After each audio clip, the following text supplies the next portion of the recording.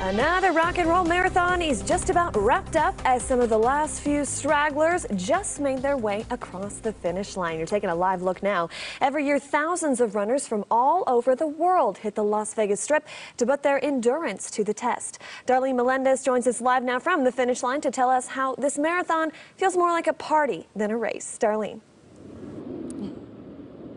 Good evening, Sasha. Yeah, it's actually that party is over now, but all day today, the energy was just contagious for the 10th annual Rock and Roll Marathon here in Las Vegas, as 40,000 runners were just ecstatic to make their way across the finish line. Three, two, and they're off. It's the 10th annual Rock and Roll Marathon in Las Vegas, from day into night.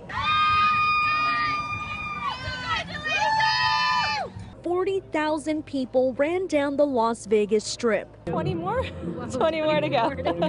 that sounded a lot worse now that I said it aloud. The marathon bringing in runners from every state and from people around the world here to enjoy everything Las Vegas has to offer. It's flat. Back at home, I think it's 11 degrees. So you can't beat that. A total party. Of course, it wasn't a party without the king himself to cheer them on.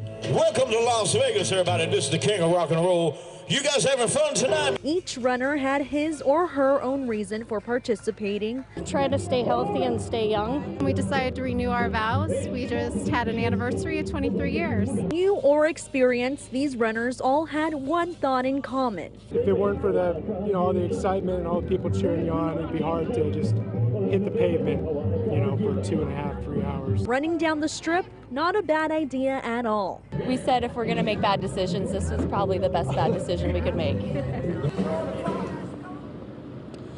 And I'm sure many of us felt that traffic all day today as we were waiting for those 40,000 runners to make their way across the finish line. Well, good news for all of you at home. Most of those uh, freeway exits that were closed have reopened tonight, and all of those street closures should be reopening soon. Reporting live, Darlene Melendez, 8 News Now.